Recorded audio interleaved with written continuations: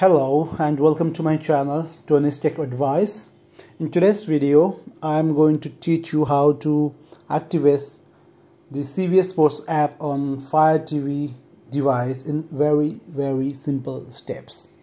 If you are the proud owner of an Amazon Fire TV device and want to know how to watch all your favorite sports live like NFL, NHL, WWE, NASCAR, more and more. So you can do that by installing the CBS Sports app on your device and activating it via cbssports.com slash fire TV. Okay, let me walk you through this whole process uh, in this video. Before going ahead with the process, uh, let me tell you the prerequisites because there are a few things you will be requiring to complete the process without a hassle. Alright, here are the four things uh, that you need. First, you will be needing an Amazon Fire TV device must be updated.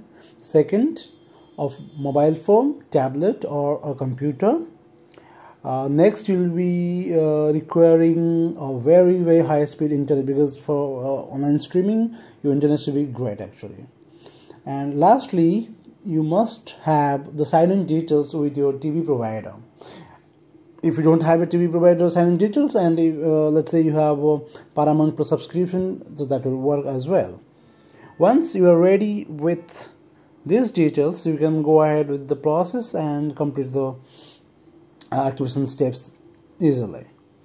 So first of all turn on the Fire TV device. Make sure you are on the home screen. Use the remote to reach Amazon App Store once you there once you're there uh, use the virtual keyword to type CBS Sports.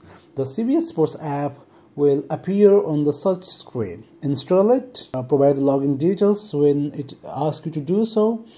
Once you have done that you'll have a screen on your TV which will further uh, prompt you.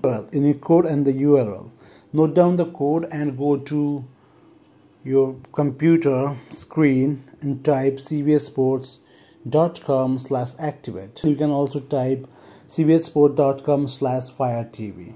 Once you're there, you need to provide the code that appears on the uh, screen. After entering the code, click next. You'll be taken to a new page where you must follow the on-screen instructions to complete the process.